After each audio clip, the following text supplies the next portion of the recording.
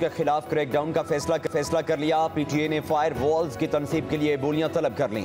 Internet service फ्राहम करने वाली companies पर नेक्स्ट जनरेशन और एप्लीकेशन फायर वॉल्स नस्ब होंगी। डीपीआई टेक्नोलॉजी से डेटा की लेयर सेवन तक देखा जा सकेगा। नेक्स्ट जनरेशन फायर वॉल से रियल टाइम डेटा की मॉनिटरिंग हो सकेगी।